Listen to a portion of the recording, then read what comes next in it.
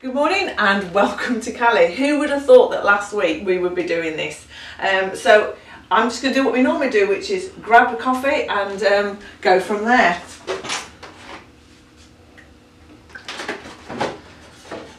So lots of changes this week. Um, so the government have issued um, advice on uh, COVID-19 to say that if you've got a cough or a fever, feeling unwell, then you need to self-isolate for seven days. So Rob's got a cough, so he's self-isolating. And uh, because of staffing, we've decided to just go live stream for this week and we'll see how things unfold. Anyway, I haven't got to shush you this week because uh, there's no feedback from getting your coffee. Right, so coffee in hand. So get yourselves comfortable and let's see what God wants to do with us as a community just from where we are. A song that's really um, I've been going through in my head a lot is Waymaker. So I'm going to play that and just just engage with God wherever you might be. So let's pray first. So Father, we thank you that you are everywhere. Right where we are, wherever that might be, that you are there. And we welcome you. We welcome you, Holy Spirit, to come and to move amongst us. We want to meet with you. Thank you, God. Amen.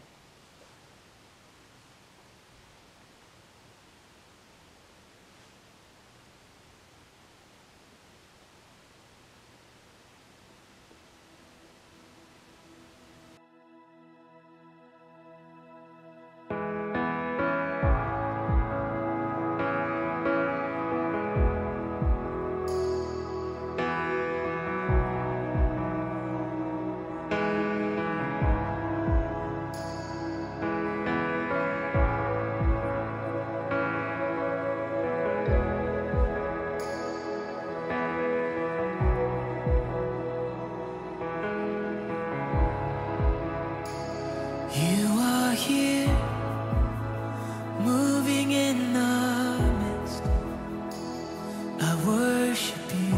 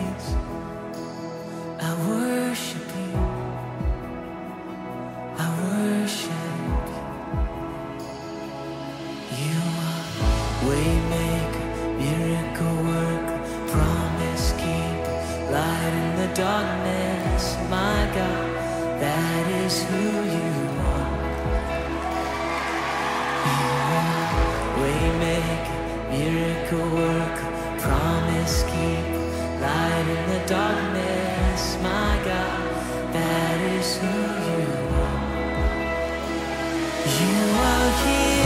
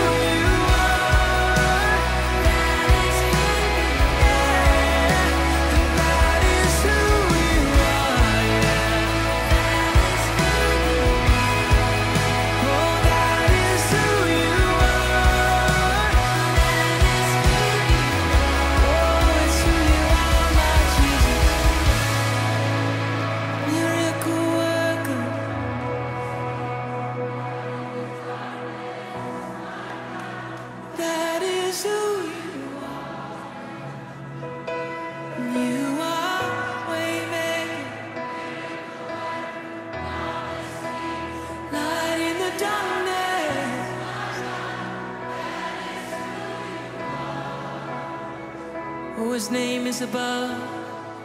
His name is above depression. His name is above loneliness. Oh, his name is above disease. His name is above cancer. His name is above every other name.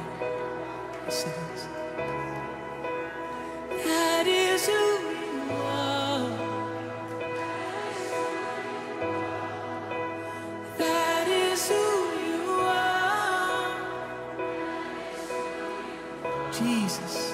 And that is who you are. Oh, I know that is who you are. Right, so um, lots of change um, over the last two weeks. Who'd have thought that we would be looking for toilet rolls, Alco gel, and lots and lots of change? Um, you wouldn't believe it. Um, one of someone was telling me um, the other day that they were in a shop and they saw two mums at the uh, checkout. One mum had four boxes of nappies, and the other mum went to her and said, "Can I buy one of those boxes of nappies?" And she said no things have really, really changed. Um, someone else sent me a picture of their local um, Costco with uh, hardly anything on on the shelves as well. So massive, massive changes. Things in the newspaper, things on online, so much change. Um, and sometimes you wonder what to do about it. And um, J. John, um, Canon J. John's a really well-known guy, and he's wrote an article, and some of the stuff I've been reading has been really, really helpful. So I thought I'd just pull some bits and pieces about what's going through my mind um, at the moment, and maybe share from there. So um, he says, "Is um, fear is out there, and fear affects the way that we think and how we react." Um, he also said that uh, fear distorts who we are and what we are supposed to be. But the Bible says in 1 John 4 um, 18, perfect love drives out fear. So the opposite is true. Perfect fear can drive out love. Interesting points from J. John. Um, he goes on and talks about morality. And so I looked up what morality means in the dictionary. Morality is a particular system of values and principles, the extent to which an action is right or wrong. At times like these, we realise what our real uh, morality or what our real values are, which ones are superficial and which ones are really uh, ingrained, ingrained deep into us. Fear can corrode our values, especially when they're not that deep. J. John goes on to say, it is deep morality that allows men and women in times such as these to show courage, service, sacrifice, um, and that's what's needed. Deep thoughts. Deep thoughts. Um, Psalm 24, verses 3 to 4 says, Who may ascend the hill of the Lord? Who may stand in his holy place? The one with clean hands and a pure heart. We're seeing so much about clean hands at the moment, but actually um, that is really important. But actually our hearts and um, having a pure heart and having a heart that's after God is really key at the time like this too. Really interesting that hours before Jesus actually was arrested and went to die, he said to his disciples these important words in John 14 27. He said, Peace I leave with you, my peace I give to you. I do not give to you as the world gives. Do not let your hearts be troubled, and don't be afraid. Jesus said this just before he died. And these words are true for us today. Peace I live with you, my peace I give to you. I do not give you as the world gives. Do not let your hearts be troubled and don't be afraid. It's really um, a challenging time, and but these words are true for us today as much as they were then. And God gives us His peace, and He says, "Don't be afraid. He's with you." So, thinking about all that's going on and thinking about what Cali is called to, we're always talking about we're called to be whatever God wants us to be, wherever that might be. We are His hands and we're His feet. And uh, we know we're not perfect, but in our um, in our in our whatever we are, if we give that to God, it makes a massive difference. And um, a verse that's been really, really um, key to me over many years, and you've heard me say it, is Romans 12. But reading this in the context of today is different. So have a listen to Romans chapter 12. So here's what I want you to do. God helping you. Take your everyday, ordinary day. You're sleeping, eating, going to work and walking around life and place it before God as an offering. Embracing what God does for you is the best thing you can do for Him. Don't become so well adjusted to your culture that you fit into it without even thinking. That's quite key for us today, isn't it? Don't become so well adjusted to your culture that you fit into it without even thinking. Instead, fix your attention on God and you'll be changed from the inside out changed. That's our heart. That's that deepness that we want changed. We want that in line with God.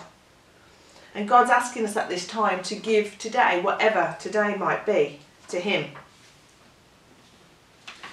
Today, whether you're going to work, whether you're juggling things, whether you're having to self isolate, whether you're ill, or whether life seems pretty normal, God is asking us in this season to give Him our everyday as an offering right here right now. We may get concerned, even fearful, but God promises to give us His strength, His peace. Perfect love casts out fear. You know, we have a hope that others don't have. How do they get through all of this without that hope that we have? God's put us in a family, in community. Wherever you are right now, you're still part of this family, the family of Cali. We're here for each other. We have a hope. We're never alone. Jesus is with us. Even if you're isolated, um, Jesus is with us. He's with us right now. So I've been thinking about all these things, and um, here's a few things that I'm trying to do, and um, maybe you might want to have a go at this time too. So, we're told to wash our hands. So, and we have to wash our hands for 60 seconds. So Rob was telling me, he was saying that um, some people, instead of singing, what they're saying is to sing happy birthday. So as you're washing your hands, sing happy birthday uh, twice through. And Rob was saying that he saw it on um, some media somewhere to actually, instead of sing happy birthday, why not, every time you wash your hands and do all the hand washing, how about um, say the Lord's Prayer? So I started to do that and I'm washing my hands an awful lot with my job uh, and with general life too. So after doing that a bit, I thought, what else can I do? So every time I'm washing my hands between patients or coming into the house or whatever, I'm actually praying and I'm praying for you. I'm naming different people at different times as I'm washing my hands. Maybe as you wash your hands, you can think of something that you can do that brings some kind of rhythm into this time. Um, so that's the first thing. Second thing I'm doing is I'm keeping up to date with um, with the news and guidance. And um, I've decided to keep to um, World Health Organization, Public Health England and um, the official news channels like the BBC. Um, I am trying ever so hard not to get onto social media um, with social media, I don't know about you, but I can go down a, a social media sinkhole. So I'm trying to stick to those. I've been in now for, gosh, three, how many days have I been now, Rob? Three days? Two days? I can't remember how many days I've been in now. I've been in for a few days now and what I'm going to do from today is actually um, stop um, looking at social media so often, um, stop looking at the news so often and actually do it at certain times, maybe the beginning and the end of the day, because you can actually get consumed by it. What else am I doing? Uh, third thing, I'm contacting people. So I'm texting people and I'm phoning people. I'm enjoying chatting to them and I'm hoping that they're enjoying a phone call. So maybe maybe you could do that too.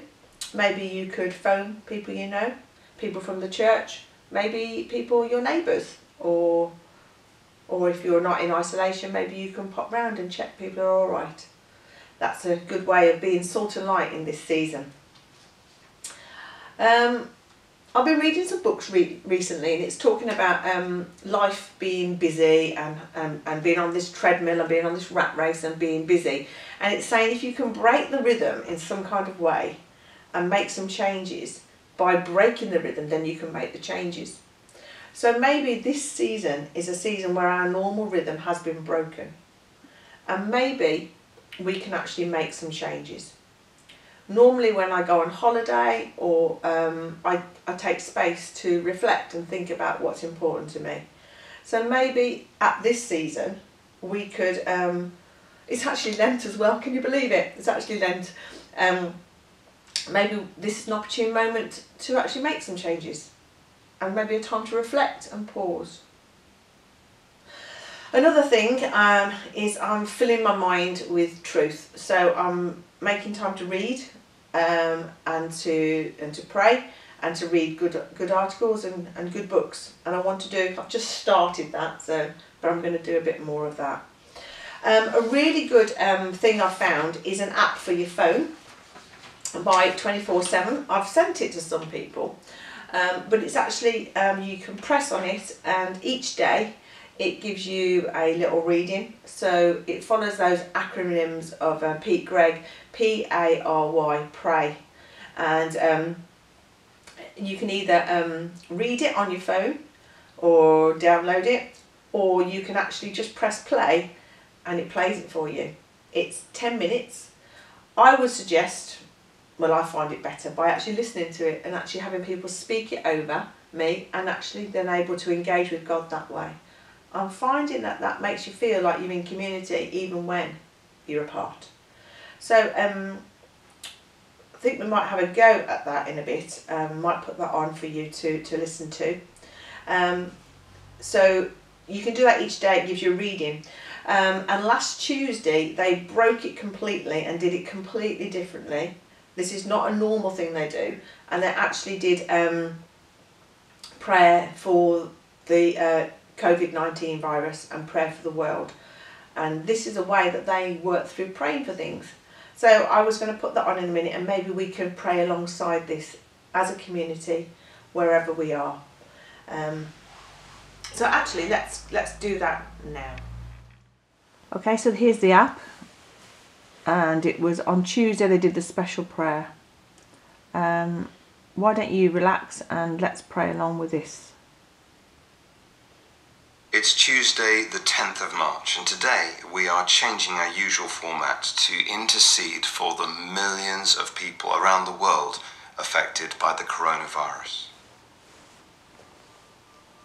As I enter prayer now, I pause to be still, to breathe slowly, to recenter my scattered senses upon the presence of God.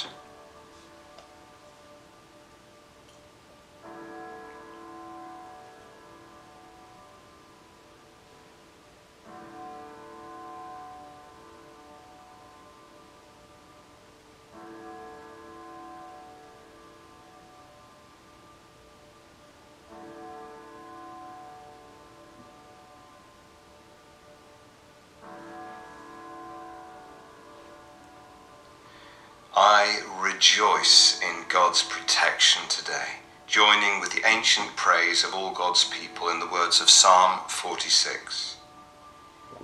God is our refuge and strength, always ready to help in times of trouble. So we will not fear when earthquakes come and the mountains crumble into the sea. Let the oceans roar and foam. Let the mountains tremble as the waters surge. The nations are in chaos, and their kingdoms crumble. God's voice thunders, and the earth melts. The Lord of heaven's armies is here among us. The God of Israel is our fortress. Yes.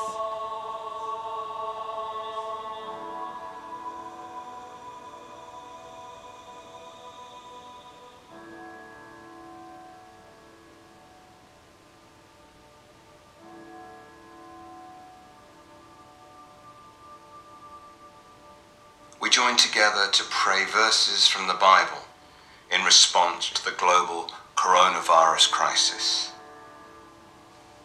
Lord Jesus Christ, I ask you to protect us from the spread of the coronavirus.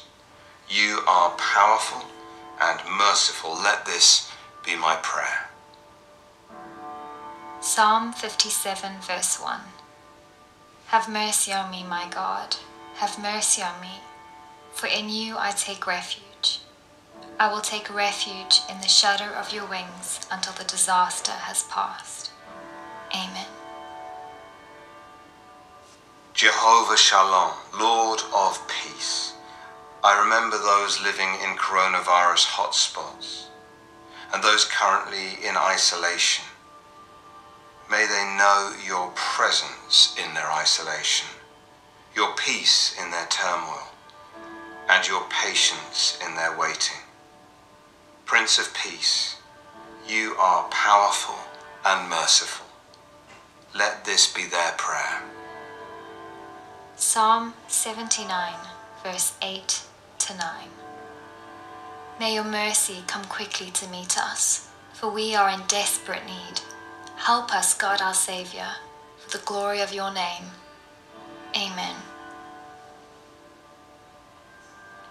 God of all comfort and counsel, I pray for those who are grieving, reeling from the sudden loss of loved ones. May they find your fellowship in their suffering, hmm. your comfort in their loss, and your hope in their despair. Yes, Lord. I name before you those known to me who are vulnerable and scared. Hmm. The frail, the sick, the elderly. God of all comfort, you are powerful and merciful. May this be my prayer. Yes. 2 Corinthians 1 verse 10. He has delivered us from such a deadly peril, and he will deliver us again. On him we have set our hope that he will continue to deliver us. Amen. Jehovah Rapha, God who heals.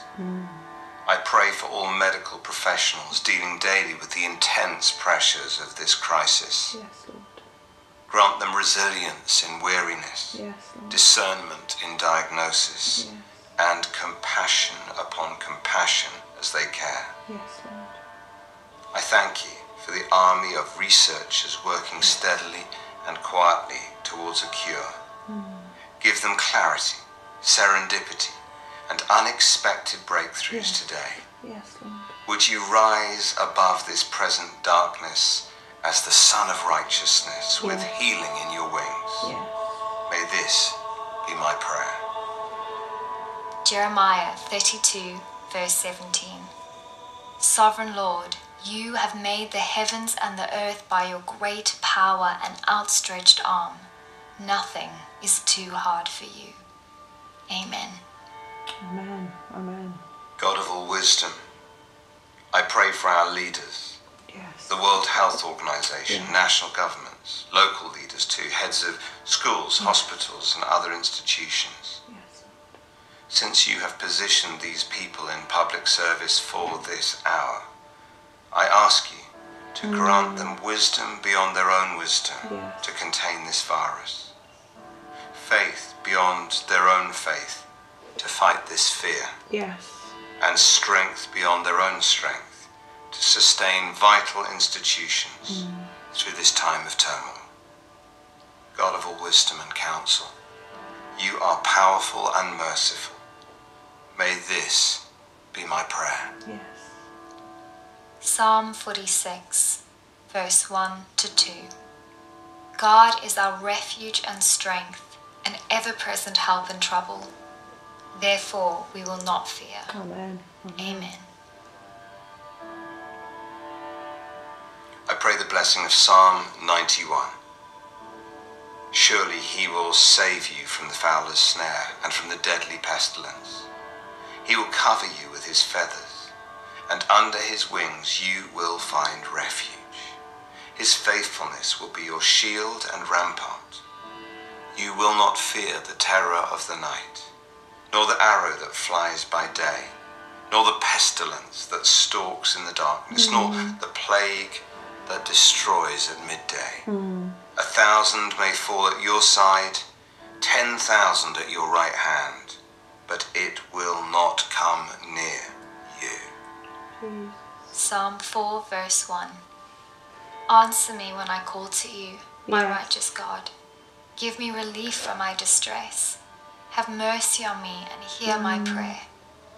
Amen. May El Shaddai, the Lord God Almighty who loves us, protect us. May Jesus Christ, his Son, who died for us, save us. And may the Holy Spirit, who broods over the chaos and fills us with his presence, mm. intercede for us Yes. And in us for others mm. at this time. Yes, Lord. 2 Timothy 4, verse 18. The Lord will rescue me from every evil attack and will bring me safely to his heavenly kingdom. Mm. To him be glory forever mm-hmm. and ever. Yes. Amen.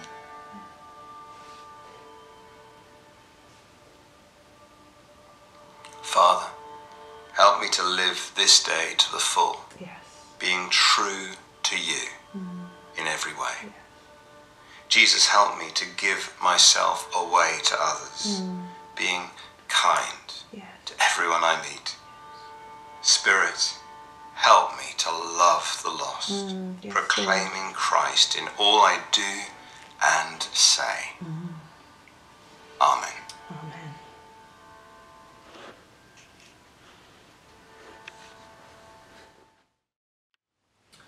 Amen. Well done. Had a go at praying together. That's really good. It's really good.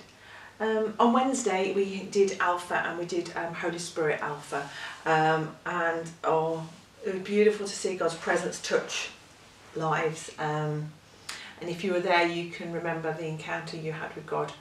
Um, just God touching people with His peace, with His warmth. Um, yeah, just a beautiful sense of God's presence. And you know, wherever we are right now, God's presence can do the same. And so I'd like us just to, to rest. Um, we're going to play a song and I just want to invite the Holy Spirit just to encounter each one of us wherever we might be right now. So come, Lord. Come, Lord. Come, Lord Jesus.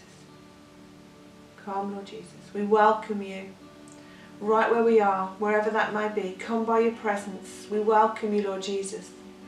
We welcome you, Lord Jesus.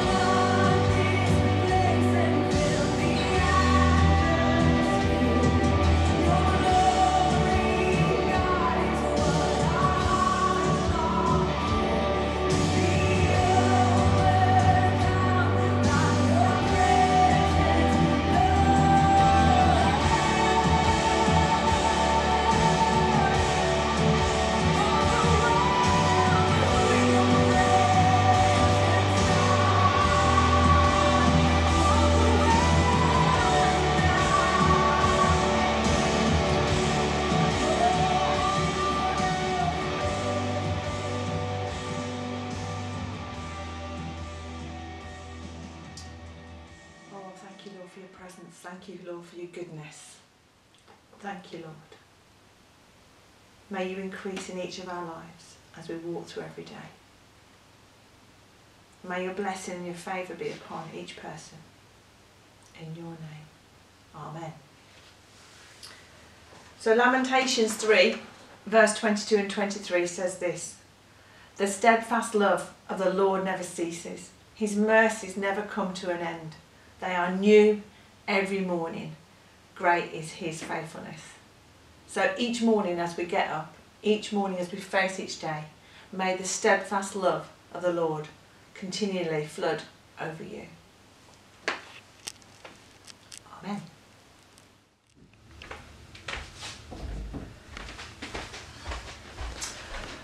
Right, so back to my puzzle. Been doing a puzzle of uh, Stratford upon Avon. Uh, it's coming along. Sitting here doing a puzzle, looking at the garden. It's got to be good. So, who knows what uh, next week holds? Um, so why not um, give me a text on my mobile, phone the church line, um, check up on Facebook or on the website and see what's going on. But um, if you don't, um, if you don't, we don't know what's going to happen. So we'll either be live streaming from here or we'll be at Cali. Um, take care, all the very best, and um, time for another coffee.